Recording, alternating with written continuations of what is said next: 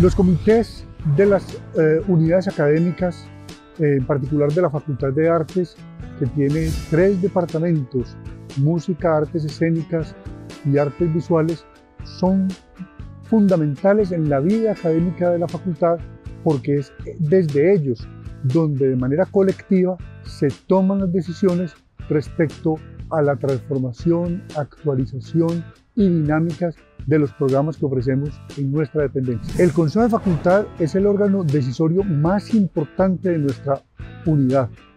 El Consejo está conformado por los jefes de departamento, la jefe de extensión, los coordinadores de posgrados y de investigaciones y presidido por el decano de la facultad con secretaría de la vicedecanatura.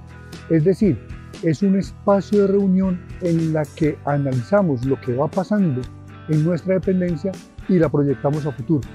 Participar en los comités y en el consejo de facultad es fundamental porque es a través de estos espacios colectivos que se toman las decisiones.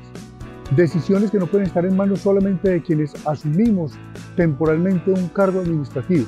No, la decisión está en la participación de todos los estamentos, estudiantiles, profesorales, egresados, de tal manera que todos construyamos la facultad que necesitamos y queremos. Ser representante profesoral ante el Consejo de Facultad o a los distintos comités implica necesariamente que como docentes universitarios nos comprometemos en la decisión del, y en la construcción de universidad pública, colectiva, permanente y abierta.